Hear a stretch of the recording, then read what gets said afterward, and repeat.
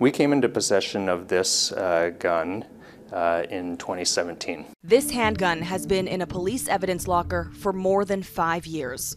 It's a Taurus PT 740 Slim, a subcompact semi-automatic pistol that fires a 40 caliber cartridge.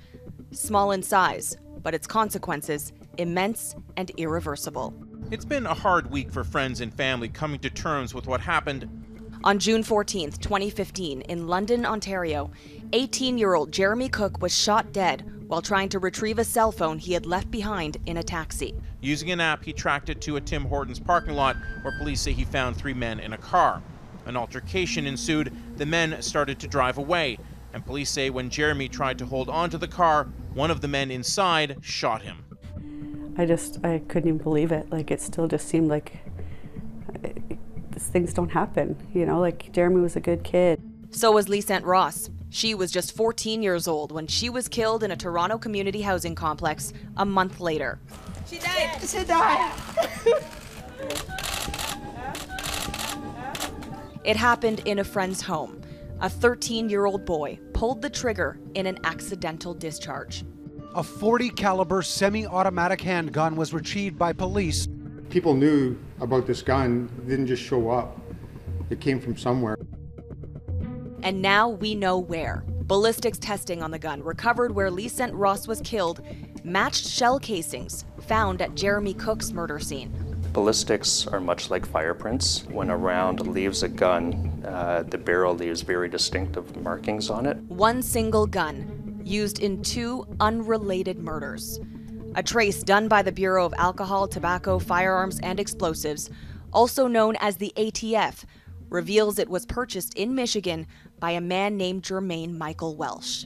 U.S. court documents obtained by Global News say Welsh's actions resulted in 33 guns being put out on the street. They describe how Welsh, a Canadian citizen, along with several co defendants, purchased more than 100 guns over a period of five months. Among those recovered in Canada was a firearm involved in a shootout with police during a homicide investigation, and the gun that killed Jeremy Cook and Lee Lysette Ross. According to the ATF report, that gun was purchased from a licensed dealer 385 days before it was taken off the streets. That person is responsible for those two deaths, just like the person who pulled the trigger, as far as I'm concerned, because they purchased that firearm knowing that they were giving it to someone who was going to smuggle it across the border. Well, here is where it all started in Taylor, Michigan, about 20 minutes outside of Detroit. We now know that the Taurus PT 740 Slim was purchased on June 20th, 2014, at a gun show at the Gibraltar Trade Center. That building has since been demolished. But in a country where citizens have the right to keep and bear arms, you don't have to look far.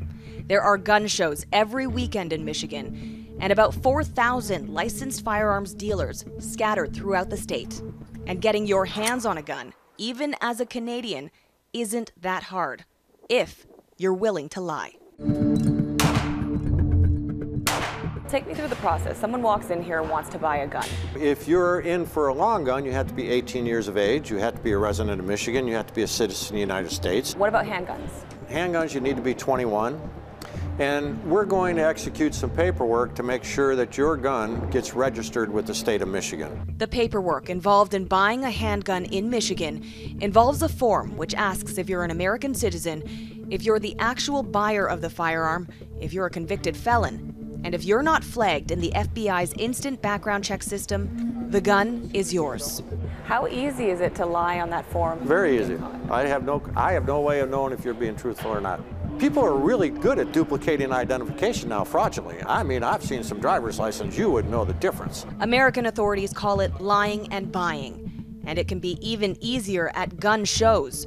The rules are more relaxed for private sellers who aren't officially making a business out of buying and selling guns. I suppose if it's citizen to citizen, there's no background check being conducted.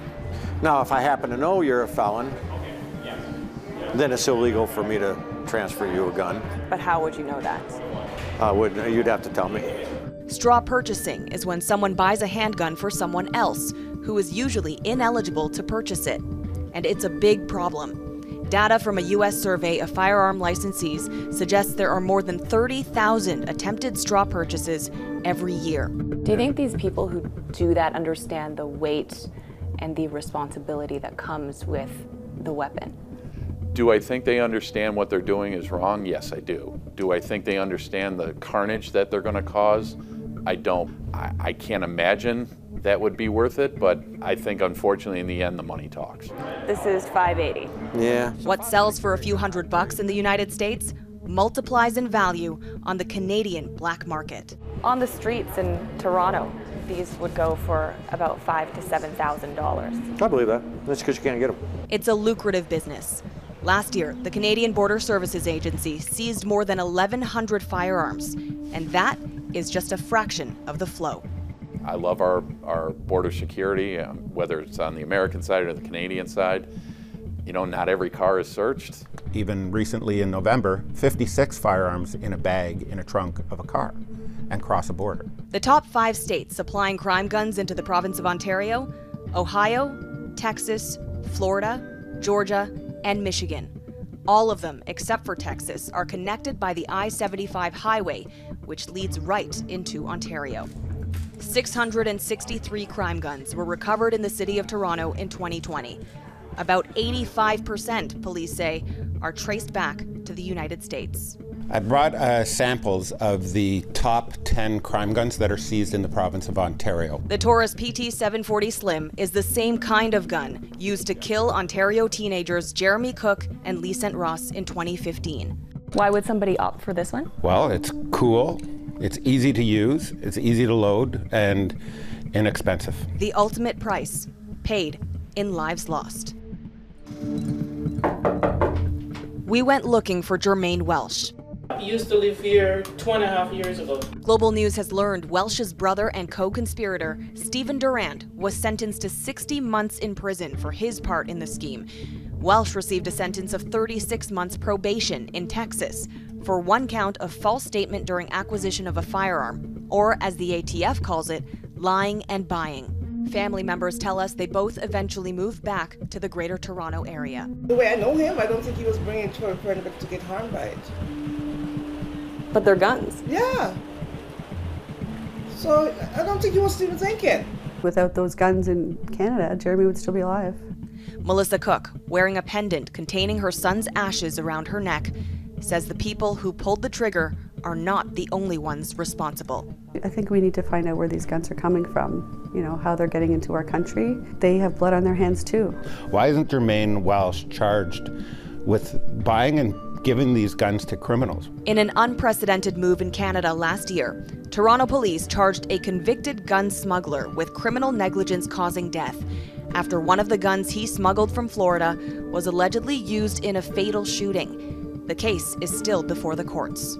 I hope that it becomes a common theme and that when you buy a gun at a gun show in Florida, it might cross your mind that, geez, if this gets used somewhere, I could be held responsible.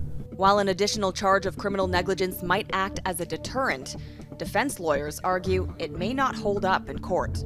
If you then go and charge someone later on with negligence causing death, and you've already factored it into their first sentence, you may be uh, almost not double dipping, but retrying the same case. And there's principles against uh, charging people for the same offense twice. When somebody is killed with a firearm, where should the responsibility for that death stop?